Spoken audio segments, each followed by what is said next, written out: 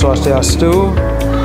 Eh, kami dari pihak SMP Negeri 4 Gianyar, saya sendiri mewakili eh, kepala sekolah karena beliau ada kegiatan, menyampaikan ucapan terima kasih yang sebesar-besarnya kepada pihak PNN Kabupaten Gianyar karena sudah berkenan memberikan materi terkait dengan narkoba, penyalahgunaan narkoba dan dampak-dampaknya bagi remaja, khususnya siswa-siswi.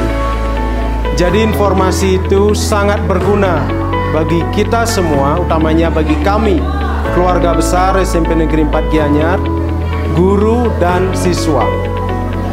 Dan kami ucapkan terima kasih sebesar-besarnya sekali lagi dan untuk ke depannya kami pihak sekolah berharap dan tetap intens berharap bahwa kolaborasi dari BNN dan pihak sekolah utamanya guru akan selalu memberikan informasi-informasi selalu mengawasi siswa kami di sini untuk menjauhi narkoba.